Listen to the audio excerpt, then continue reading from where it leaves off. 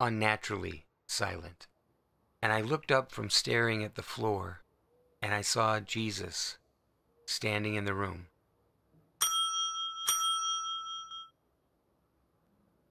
You're listening to the Divine Now podcast. This is the first one in about 10 years.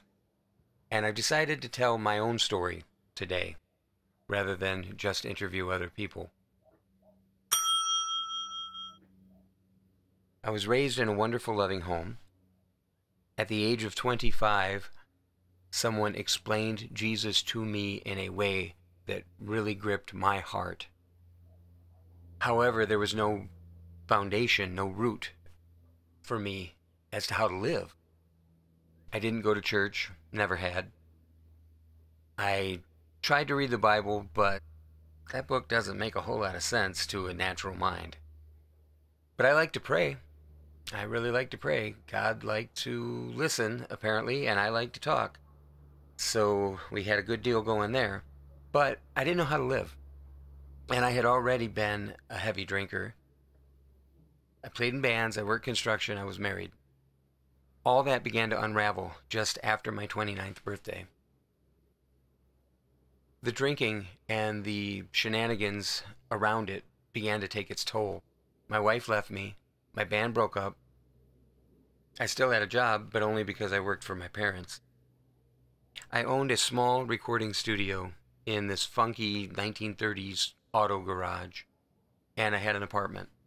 And after work, I didn't want to go back to the apartment without my wife there. It was just too empty and, and just reminded me of everything that was bad. So I would go back to the apartment, take a shower after work, go grab a 12 pack, and go to the recording studio because I could sit in the tracking room where all the musicians play on the floor and drink.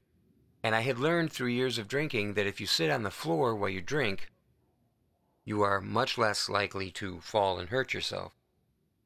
So, this one night, I was most of the way through a 12 pack. It was later in the evening. I should, I should explain that every room makes sound, every room makes noises. Your computer makes noise, the lights make noise, your refrigerator has a certain tone, a sound, the reflections of the walls, everything makes sound. As the person who had built this recording studio, I knew exactly what the room sounded like. And as I sat there on the floor drinking, my room went absolutely dead quiet, unnaturally so. And I was staring at the floor, and I looked up, and there was Jesus. He had a compassionate face, brown, curly hair. He was wearing a robe. This was not a ghost. This was a person standing in the room. He looked at me and he said, There's something I want to show you.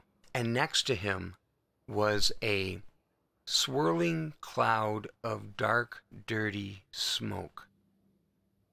It was about the same height, about the same width, just sort of suspended there. I have no other recollection of the evening. It's it's gone. I woke up the next morning. I put it down to a bad dream, and I went to work. I get off work the next day. I go home, take a shower, grab a 12 pack, go back to the studio, sit down on the floor. I have a, two or three beers, not that much. And suddenly the room goes quiet again, and I instantly remember what happened the night before. Now I'm afraid, very afraid. I'm staring at the floor. I don't want to look up. I can't help myself. I look up to see Jesus standing in the room. And he looks me in the eye and he says, There is something I want to show you. Next to him is the same thing as the night before dirty, ugly, swirling smoke. It reminds me of the look of a cancer patient's lungs. I closed my eyes as tight as I could close them, my whole body tensing up. I curled up into a ball on the floor and I forced myself to stay in that position until I fell asleep. The next morning, I wake up. I remember now, I remember both nights vividly. I am terrified. And I am like, Mark, you dumbass, you finally drove yourself insane with your stupidity. This is great. You're going to just go to an asylum now.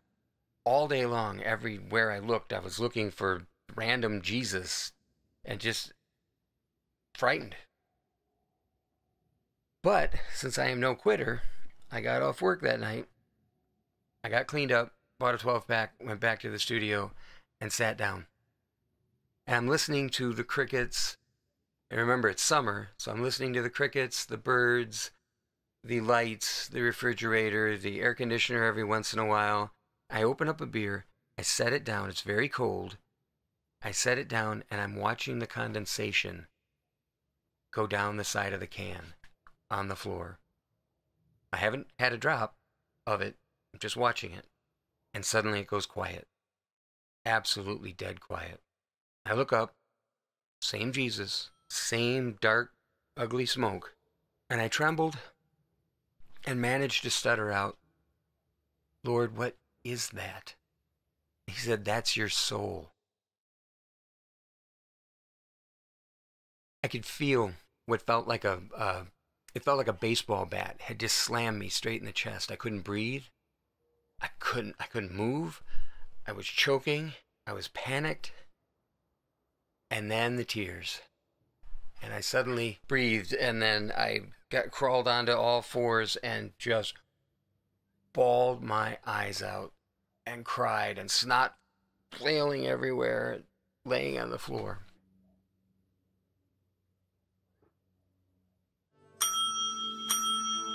You're listening to the Divine Now podcast. I'm Mark Archambault. May the Lord bless and keep you. May he make his face to shine upon you.